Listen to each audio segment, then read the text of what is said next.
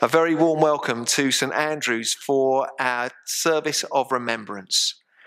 If you are joining us for the first time, you are especially welcome. My name is Pete Jackson. I am the vicar here at St Andrews Kendray in Barnsley. Today we're going to remember with gratitude those who have given their lives in times of war to preserve the freedom that we in this country enjoy. We all know that the world is not at peace but our Bible reading today looks forward to a time when there will be no more war and when peace will abound. They are words of comfort and hope. And then, as we approach 11 o'clock, we're going to listen to the last post, have two minutes silence, followed by a couple of prayers, thanking God for the sacrifices that many have made, praying for those who are still injured or suffering as a result of war and praying for that day of peace which the Bible promises. But this year, we're going to begin our service with a short act of remembrance to remember those who have died over the last 19 months during the COVID pandemic, and to give thanks for all the medics, carers, NHS staff, and essential workers who have sacrificially risked their own safety, worked tirelessly, and borne so much of the strain during this time. Some frontline workers gave their lives in the service of others. And so we're going to listen to the national anthem, and that will be followed by one minute of silence to remember and give thanks to God for them. During that time, there will be some poignant images on your screen from the last 19 months. So if you would like to, please stand for the national anthem and to remember.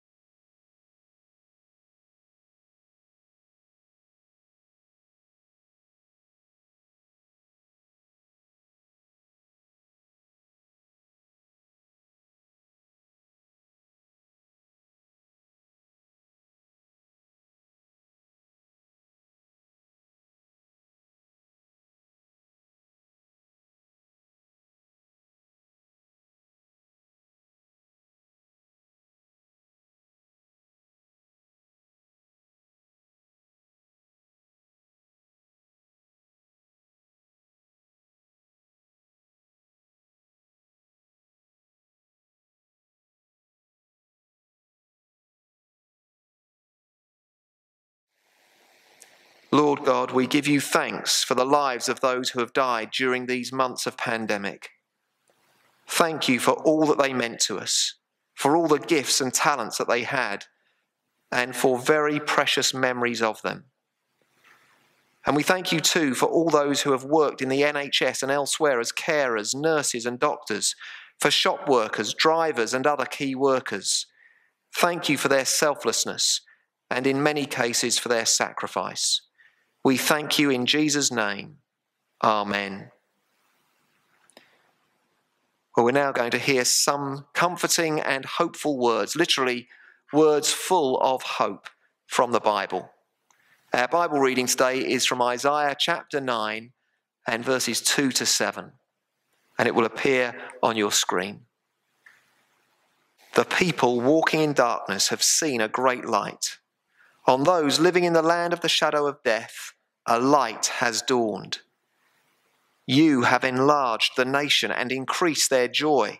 They rejoice before you as people rejoice at the harvest, as men rejoice when dividing the plunder.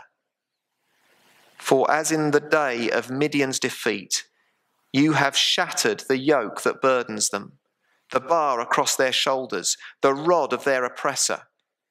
Every warrior's boot used in battle and every garment rolled in blood will be destined for burning, will be fuel for the fire. For to us a child is born, to us a son is given, and the government will be on his shoulders. And he will be called Wonderful Counselor, Mighty God, Everlasting Father, Prince of Peace. Of the increase of his government and peace there will be no end. He will reign on David's throne and over his kingdom, establishing and upholding it with justice and righteousness from that time on and forever. The zeal of the Lord Almighty will accomplish this. Today, we remember those who have made the ultimate sacrifice to bring us freedom. And we thank God for the way He has preserved our nation through times of conflict. But sadly, even now, we can't celebrate the end of war. Nations continue to fight with huge loss of life and enormous suffering. Did you know that since the end of World War II, not a single week has gone by where there has not been a war somewhere in the world? Not a week. Planet Earth is a troubled place. We don't just have climate issues to deal with, the world is full of war and, and conflict. And yet, over the years, people have dreamt of world peace. They said, didn't they, that World War I would be the war to end all wars. But you know what happened just 21 years later World War II. And during that conflict, Churchill said, if we can stand up to Hitler, all Europe may be free and the life of the world may move forward into broad, sunlit uplands. Thankfully, that generation did rid Europe of Hitler, but since then, the broad, sunlit uplands have been darkened again and again by war. Korea, Cyprus, Oman, Malaysia, Aden, Northern Ireland, the Falklands, Lebanon, the Gulf, Bosnia, Iraq, Kosovo, Sierra Leone, Afghanistan. And they're just some of the ones that we've been involved in. In 2012, President Barack Obama said, Our economy is recovering, a decade of war is ending, a long campaign is over. He was predicting a brighter future. Little, little did he know that ISIS and the Taliban would draw us all into yet another war. But we mustn't knock those who dream of and work for peace. Who doesn't want a world without war? Surely we all long for a world like that. The desire to live in peace is ingrained in us all. And more than that, the desire for life with no more death is also ingrained in us all. The Bible tells us that God has set eternity in the hearts of us all. That is why there is something deep inside all of us that hates death. We would dearly love a world in which there is no more death or mourning or crying or pain, and where there is lasting peace. Well, the encouraging thing for us to know today is that our longings for a world without war and death and sadness is not just a pipe dream. The book of Isaiah, and indeed the whole Bible, is all about how God will act to bring ordinary people like us from this war torn, death filled world into his glorious renewed creation, where there will be no more crying or sickness or pain or death.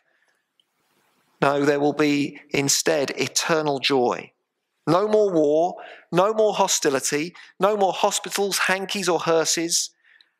A place where death and conflict has ended that is the promise of the book of Isaiah. Isaiah chapter 9 was written to the people of Judah who knew all about war because they lived in the middle of a war zone. Their capital city, Jerusalem, was under siege. Death and destruction loomed. But the Lord promised a day when, the, when light would shine in that dark place. A day of light, he promised, for those living in the land of the shadow of death. When scary shadows appear in the darkness, the thing you need at that moment is some light. If my youngest son, Sam, is frightened by a shadow in his bedroom, I just put the light on and show him that there's nothing there. Us adults know that shadows are nothing to worry about. But there is a shadow that, if we're honest, many of us do find frightening. It is the shadow of death. It is a shadow that hangs over us all. Over the last 19 months, that shadow has loomed large over our nation, and it continues to loom. Every night on the news, we're told of the latest number of COVID infections and deaths, and we don't know if in the coming months we might feature in those numbers. Whether by military conflict or terrible virus, all of us know that the shadow of death hangs over us. How wonderful then to read in Isaiah chapter 9 that there is a light that is even able to deal with the shadow of death. The moment a light goes on, the shadow disappears. That's the promise here in verse 2. The people walking in darkness have seen a great light. On those living in the land of the shadow of death, a light has dawned. It's a light that will cast out that terrible shadow. And so in verse 3, there is the promise of a time of unparalleled joy and rejoicing. I imagine we've all seen the images of the end of World War II. There are pictures of huge crowds gathering in the streets, people hugging complete strangers. They're overwhelmed with joy that the war has ended. That's the promise here the promise of overwhelming joy because war and oppression and death will be no more. And it's not just a promise of temporary peace and joy that only lasts until the next war. No, what the Lord is promising here is a day of joy that is completely unparalleled because it will be the end of all war and all violence and all oppression. That is why verse 5 says, Every warrior's boot used in battle, and every garment rolled in blood will be destined for burning, will be fuel for the fire. It points to a day when a soldier's kit won't be needed ever again. They won't pack it away for another time, they'll burn it. Can you imagine a time when war and oppression are no more? A time when the shadow of death is completely gone? a time without any pain, and when life and rejoicing will not end. From what we know of history and of human nature, we might say that this is just wishful thinking. But Isaiah chapter 9 tells us how the Lord God will bring about this apparently wildest of dreams. Incredibly, it comes, verse 6, through a child. Isaiah says, for to us a child is born, to us a son is given, and the government will be on his shoulders. And he will be called Wonderful Counselor, Mighty God, Everlasting Father, Prince of Peace. Well, these words were written 700 years before Jesus was born, but it becomes very clear that it is talking about him. He is the hope of the world. He is the only one who can bring about what we so long for that joy filled eternity that God has set in our hearts. Prime ministers and presidents are right to long for peace, but despite their best efforts, they have no way of bringing it about. But here is the answer eternal life and peace can be ours through Jesus Christ. Let me very briefly tell us why. There's just two reasons. First, Jesus is the real ruler of the world. History is littered, isn't it, with people who have wanted to rule the world. And it's terrifying, mainly because they use their power and rule for selfish and greedy ends to the detriment of millions of other people. But look at what we read here. Verse 6 says that the child to be born, Jesus, will be called, amongst other things, Mighty God. He is the Almighty Creator of everything. And so he has the power to rule the world completely. And verse 7 says that his government will never end, it will just keep growing. And as he rules, there will be no end to peace. You see, Jesus' rule is different to the rulers that we are familiar with. He will not act selfishly or greedily or make for war. No, the middle of verse 7 tells us that he will establish and uphold his kingdom with justice and with righteousness. The Bible promises a, that a day is coming when Jesus will be seen to be the legitimate and almighty ruler of the world. His rule will be completely just and righteous. He will not abuse his power. He will use it for good to always do what is just and right. And so being under his perfect rule will be wonderful. His subjects will never want to rise up against him. So he's the real ruler of the world who will rule with true justice and righteousness. The second reason why only Jesus can bring life and peace is this Jesus is the only one who can bring us peace with God and each other. In verse 6, the child to be born is also called the Prince of Peace. Today, on this Remembrance Sunday, we long for peace. And if we would only realize it, Jesus is the Prince of Peace who brings peace by dealing with our biggest problem. Our biggest problem is not climate change or the pandemic. Our biggest problem is not war. Our biggest problem is that we humankind generally and all of us individually are not at peace with God. We have effectively waged war on God and tried to live as if we are God. But if I want to be God, and if you want to be God, then when we disagree, sparks are going to fly. And that is basically how fallouts, fights, and wars begin. Kids fall out, adults fall out, nations fall out. Left to ourselves, there will be no end to disagreements and divorce, fallouts and fighting, war and death. At the heart of the world's problems, the thing that causes war and more locally causes us to do wicked things to each other is our own rejection of the true and living God and our rejection of his ways. And the only person who can solve this greatest problem is the Prince of Peace, the one who would be born as a human being and yet at the same time be mighty God. Jesus is the God man. He was both God and man. And that means that he is the one who can reconcile man to God. In the person of Jesus, God entered his creation to save us from the darkness, to save us from the shadow of death, and to bring us peace with God. He did that by dying on a cross for us. And that is why at the end of verse 6 he is called the Prince of Peace. He died to bring us peace with God. And verse 7 says, Of the increase of his government and of peace there will be no end. You see, the one who died to bring us peace is also the ruler of the world. And his rule or his government is increasing every single day as men and women and, and, as children come to him to receive peace with God and to enjoy his loving and good and kind rule. That is why I personally trust him and follow him. He is the ruler of the world. He's a good ruler. He is Almighty God, so he knows what is best.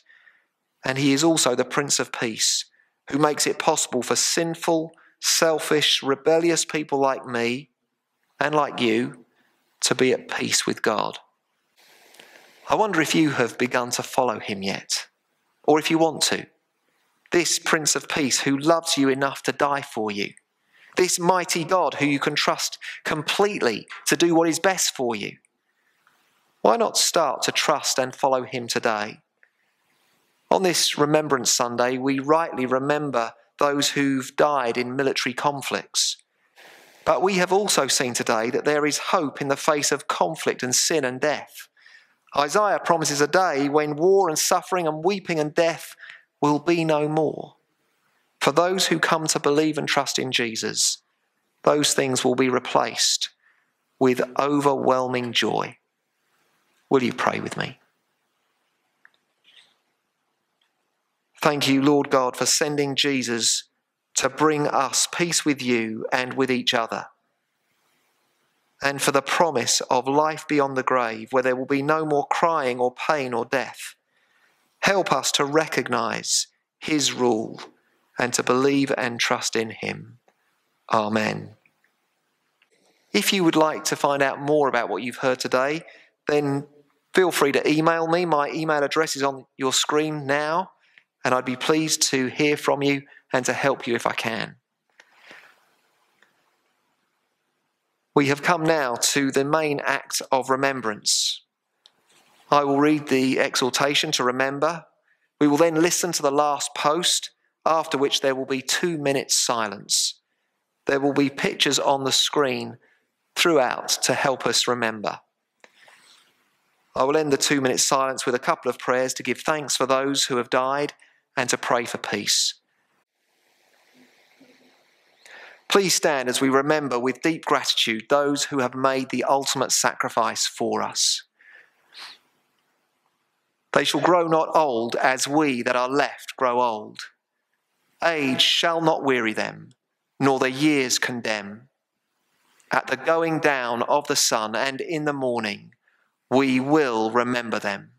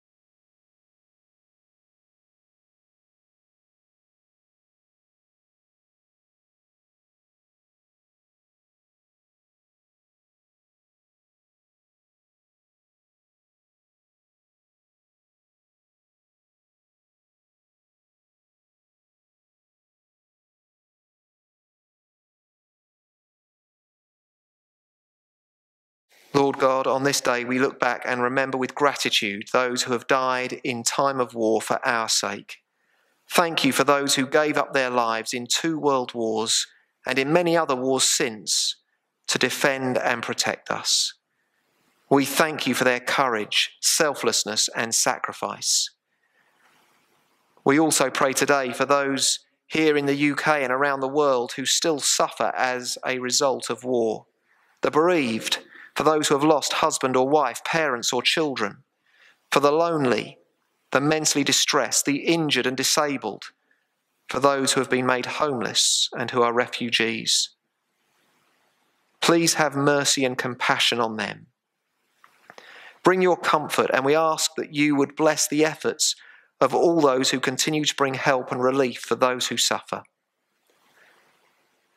On this day of remembrance, we pray too for peace in the world, for politicians who govern, and for the soldiers, sailors, and airmen who carry out their decisions. We pray for wisdom and courage to always do what is right and just. And we pray for your grace that the tragedy and horror of war may be avoided for future generations. Guide the leaders of all the nations and help them to see that the, it is the Lord Jesus Christ who makes lasting peace possible peace with you and peace with each other. Please have mercy on us all and help us to believe in him, the Prince of Peace. And we ask all these things in his name. Amen. Well, thank you very much indeed for joining us for this service of remembrance. If anything you've heard today makes you want to find out a bit more about Jesus, then please do feel free to be in touch. We're going to finish this short service by listening to a famous hymn. Do sing along if you would like to.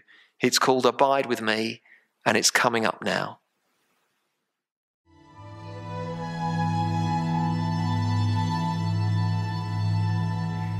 Abide with me,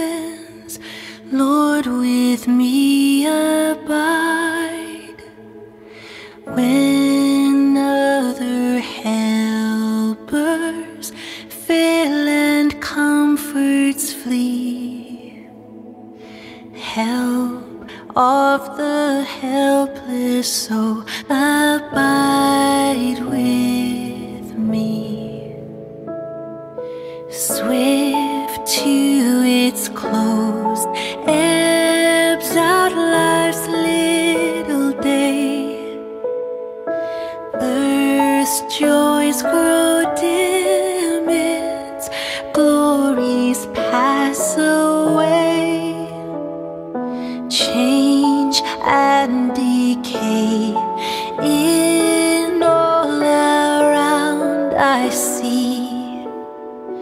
O thou who changest not, abide with